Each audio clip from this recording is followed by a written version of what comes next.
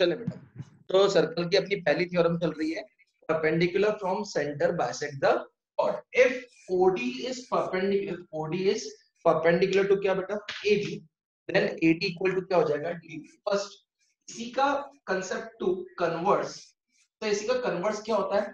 If अगर मैं circle बनाऊँ और बोलूँ इफ़ ये एबी है, और ये ओ है, और यहाँ से अपन ने डी बनाया। If AD is equal to DB line from center line from center bisecting the chord line from center bisecting the chord is perpendicular to chord मतलब अगर AD equal to DB है then अपने को बोल सकते हैं then OD is perpendicular to AB then OD is perpendicular to AB बचपन की बातें थी ये तुम्हारी दूसरी थ्योरम पहली थ्योरम ये बोलती है बेटा perpendicular from centre bisect the chord पहली थ्योरम तो ये बोलती है, बेटा perpendicular from centre bisect the chord और सेकंड थ्योरम क्या बोलती है, बेटा? सेकंड थ्योरम क्या बोलती है अपने पास?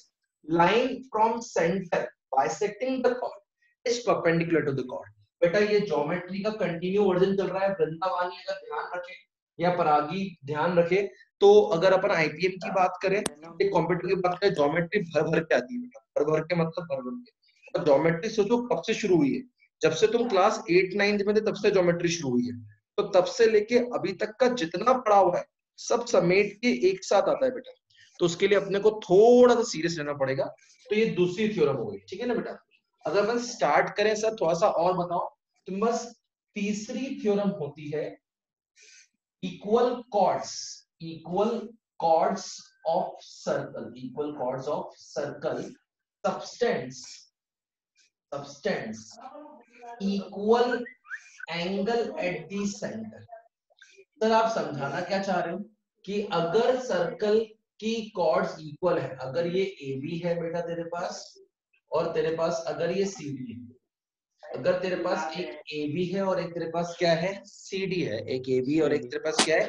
सी डी तो और अगर ये इक्वल है मतलब if A B equal to क्या है? सी डी तो इनका जो सेंटर पे बनने वाला एंगल है, जो इनका सेंटर पे बनने वाला एंगल है, ये वन और टू वो भी क्या हो जाएँगे इक्वल इसका मतलब सर एक बार फिर से equal chord subtends equal angle at the centre equal chord subtends equal angle at the centre इसका मतलब अगर A B equal to C D अगर A B equal to C D है then then angle one is equal to क्या हो जाएगा? Angle two. Angle one is equal to क्या हो जाएगा बेटा? Angle two. ठीक है बेटा यहाँ तक? अब इसी का उल्टा इसी का भैया ये थ्योरम थ्री एक और बार समझा दो। थ्योरम थ्री एक मिनट समझ। अगर मैं देखो एक बात ये समझाऊं तो परागी कि ये ए बी है और ये सी डी है। मुझे नहीं पता ये ए बी और सी डी इक्वल है कि नहीं। लेकिन ये जो सेंटर पे एंगल बना रही है वो इक्वल सर क्या मतलब? मैं बोल रहा हूँ अगर ये एंगल वन है जैसे अगर ये फिफ्टी डिग्री है तो एंगल टू ये भी क्या है? फिफ्टी डिग्री है। तो अगर ये फिफ्टी डिग्री और ये फिफ्टी डिग्री है अगर सेंटर पे बने हुए एंगल इक्वल है। सेंटर पे बने हुए एंगल क्या है? इक्वल तो कॉर्ड्स क्या होंगी? इक्वल और पहले वाले थ्योरम उल्टा बोल रही है कि अगर कॉर्ड्स इक्वल है तो सेंटर पे एंगल इक्वल बनेंगे अगली थ्योरम क्या बोल रही है? अगर सेंटर पे एंगल इक्वल है इफ़ इफ़ इफ़ का मतलब कंडीशन कंडीशन और कंडीशन का मतलब क्या बेटा? If angle if angle 1 is equal to angle 2 then AB equal to what? CD मैं ऊपर लिखता हूँ फिर से बताऊँ equal chords subtends equal angle at the centre अगर AB और CD इक्वल है अगर AB और CD क्या है? इक्वल तो एंगल 1 इक्वल टू क्या हो जाएगा? एंगल अगर AB और CD इक्वल है तो एंगल 1 इक्वल टू क्या हो जाएगा? एंगल 2 और अगर अगर angle one equal to angle two है तो ए बी इक्वल टू क्या हो जाएँगी? सी डी क्या यहाँ तक समझ में आया? दो मिनट रुको इसके लिए। हाँ हाँ भैया। चलो बेटा दो मिनट आप उतार लो पहले फिर अपन आगे बढ़ते हैं ना बेटा? चालू होगी कि इसको अगर हटा दें अपन तो अपने पास बहुत प्यारी थ्योरम आ रही है। ये कितनी हो गई अपनी? छह थ्योरम सेवेंथ थ्योरम ये बोलती है angle subtended by an arc at the centre अगर ये सेंटर है ये तेरी ए है और ये तेरा क्या है? बी एक बार और ध्यान रखना बेटा इस वाले एरिया को बोलते हैं माइनर आर्क और जो ऊपर वाला एरिया है इस पूरे इसको बोलते हैं मेजर आर्क सर लगे हाथ इनका फॉर्मूला लिखवा सकते हो क्या? अरे बेटा क्यों नहीं? अगर देखो माइनर आर्क का फॉर्मूला निकालना कभी ये लेंथ निकालनी हो कभी भी ये लेंथ निकालनी हो तो माइनर आर्क का फॉर्मूला होता है theta upon 360 into 2 pi r into 2 pi r और कभी भी मेजर आर्क का फॉर्मूला निकालना हो तो वो भी होता है theta upon 360 into 2 pi r अब सो ये थीटा का मतलब क्या? जो ये सेंटर पे एंगल बना रही है, जो भी ये सेंटर पे एंगल बना रही है, अगर ढंग से देखे तो अगर ये सेंटर पे एंगल बना रही है प्रॉपर वाला लेट से जो भी एंगल है, इस एंगल को बोला जाता है थीटा इस एंगल को क्या बोला जाता है? थीटा तो सर, इसके लिए क्या थीटा बेटा इसके लिए ये थीटा और उसके लिए जूम ये थीटा। एक इसके लिए थीटा माइनर आर्क के लिए। और जो ऊपर वाला हो किसके लिए मेजर आर्क के लिए। It always depends upon theta कि थीटा क्या है। It's always depend upon theta कि थीटा क्या है। बोलो, कोई डाउट तो नहीं आता अब अगर ये भी समझ में आ गया तो मेरे को तो मेरी मेन थ्योरम समझानी है। थ्योरम बोलती है कि जो भी ये ए बी इस दर एंगल बनाएगी सेंटर पे, वो डबल होगा तो वो सेंटर के किसी भी अलग पार्ट पे बनाएगी। मतलब अगर यहाँ पे कोई एंगल बनेगा तो वो होगा थीटा बाय टू या यहाँ पे बोलूँ तो यहाँ पे अगर थीटा बनेगा तो यहाँ पे कितना बनेगा? टू थीटा यहाँ पे अगर थर्टी बनेगा तो यहाँ पे बनेगा सिक्सटी यहाँ पे बनेगा फोर्टी तो यहाँ बनेगा एट्टी यहाँ बनेगा फिफ्टी तो यहाँ बनेगा कितना? हंड्रेड तो थ्योरम बोलती क्या है? थ्योरम इंग्लिश में बोलती है angle subtended angle subtended by an arc angle subtended by an arc at the centre at the centre sir इसका मतलब भी समझते जाओ। ये आर्क है ए बी अपने आप में क्या है? ए बी अपने आप में क्या है? आर्क जो भी ये सेंटर पे एंगल बनाएगी, जो ए बी है, वो अपने आप में क्या है? आर्क जो भी ये सेंटर पे एंगल बनाएगी, वो डबल होगा, जो किसी और पार्ट पे बनाएगी. इसका by angle subtended by an arc at the centre is double is double the angle is double the angle subtended by is double the angle subtended by at, at any other part of circle at any other part of circle at any other part of circle. So angle subtended by an arc at the center is double the angle subtended by it at any other part of the circle. So इसका मतलब क्या?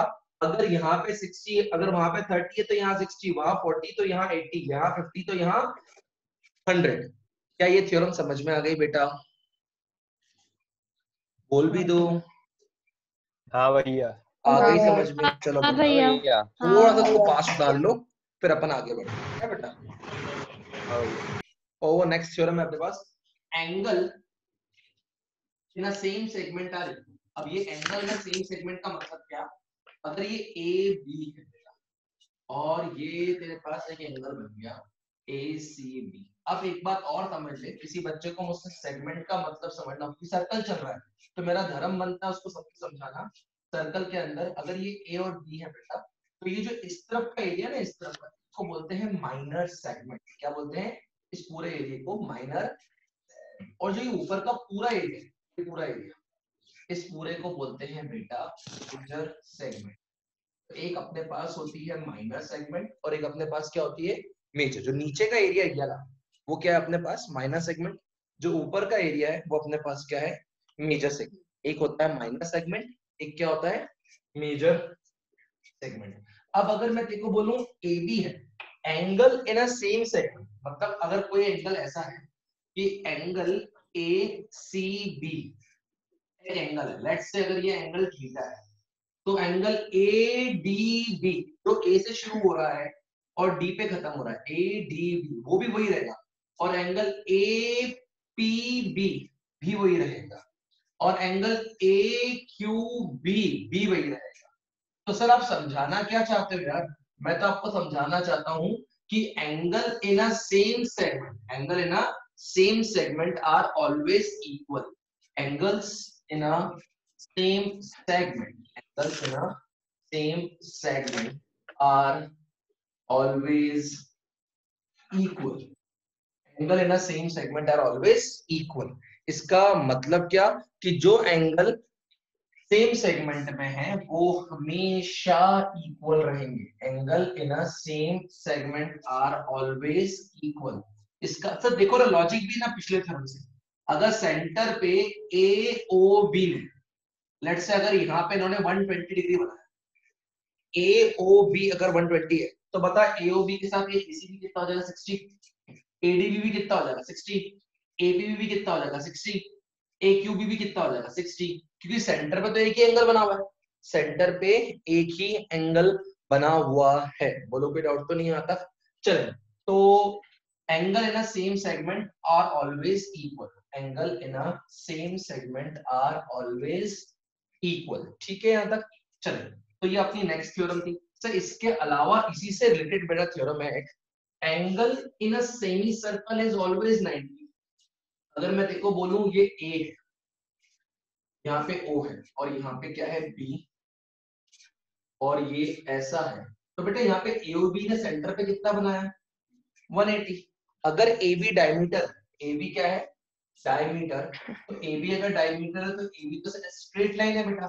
और अगर A be straight line है तो angle A O B तो कितना हो गया बेटा मेरे पास? 180 तो जो जो भी है एंगल आधे हिस्से में बनाया जा रहा है। वो क्या होगा? 90 चाहे वो एंगल ए सी बी हो, चाहे वो एंगल ए डी बी हो, चाहे वो एंगल ए क्यू बी हो, ये सारे एंगल जो भी सेमी सर्कल में बने हुए होंगे वो सभी क्या होंगे 90 डिग्री तो तुम्हारे पास next theorem I think at ninth theorem है ये।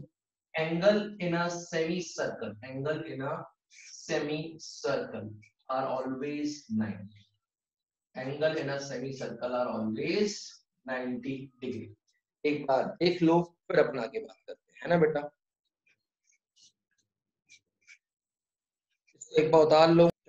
अब अपन थोड़ी सी बात करते हैं sir tangent circle and tangent tangent to the circle अब इस पे अपने पास बेटा दो से तीन थ्योरम पहली थ्योरम ये बोलती है tangent to radius tangent to radius is always 90 tangent to radius is always 90 degree इसका मतलब अगर तेरे पास ये सर्कल है, और ये सर्कल का टेंजेंट टू रेडियस अगर ये आएगा तो इसका रेडियस से हमेशा एंगल 90 होगा।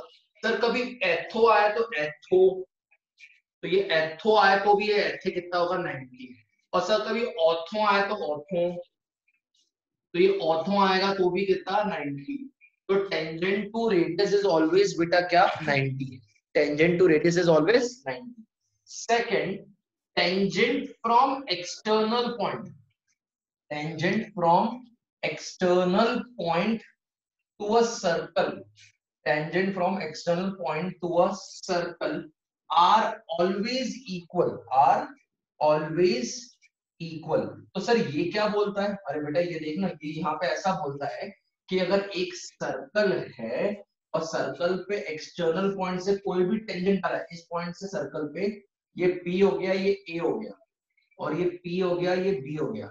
अगर एक्सटर्नल पॉइंट से एक सर्कल पे पहली बात तो ध्यान रखना मैक्सिमम टेंजेंट एक्सटर्नल पॉइंट से किसी भी सर्कल पे मैक्सिमम टेंजेंट से दो बन सकते हैं। बन सकते हैं?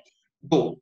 अच्छा और वो दोनों टेंजेंट आपस में क्या होंगे? इक्वल इसका मतलब P A should be equal to what P B P A is equal to what P B sir और समझा दो ना। देखना बेटा, अगर मैं तेरे को बोलूँ, ये एक सर्कल है, और ये यहाँ से ऊपर से इसको बोले टेंजेंट बन रहा है समझ इसको मान ले टी इसको मान ले क्यू इसको मान ले कितना? आर तो ध्यान रखना, ये थ्योरम बोलती है T Q is equal to T R T Q is equal to what T R फिर अगली थ्योरम यही चीज़ बात बोलती है बेटा, थोड़ा अगर ढंग से देखें तो। तो third theorem two tangent to a circle बोल रही है कि अगर कोई भी टेंजेंट किसी सर्कल पे बन रहे हैं दो पॉइंट से तो एंगल बिटवीन दिस आउटसाइड ये पी मान लें इसको अपन ए मान लेते हैं बेटा, इसको बी मान लेते हैं और इसको ओ मान लेते हैं। तो बोल रहे हैं ऐसा कुछ कि अगर अपन बात करें कि इस फिगर को देखें पी ए ओ बी तो थर्ड थ्योरम से कितना बोलती है कि angle O plus angle P मतलब जो सेंटर पे एंगल बन रहा है ये टेंजेंट सेंटर पे बना रहे हैं और ये जो टेंजेंट बाहर बना रहे हैं, जो ये टेंजेंट सेंटर पे बना रहे हैं और जो ये टेंजेंट बाहर बना रहे हैं इन दोनों का सम 180 होगा। अच्छा लॉजिक भी है ना यार बेटा ये एक प्रकार से क्वाड्रिलेटरल बन रहा है तो एट 90 तो एट 90 ये दोनों तो 90 90 हो ही गए बाकी बचे ये दोनों। तो अगर ये दोनों मिला के 90 हो गए तो बचे हुए दोनों क्या हो जाएँगे? ये दोनों मिला के 180 होना ही होना है। बोलो कोई डाउट तो नहीं बेटा? थोड़ा बोल भी दो बेटा मैं ही बोल नहीं भैया। चलो एक बार ये थ्योरम भी लिख लो अच्छे से आराम से।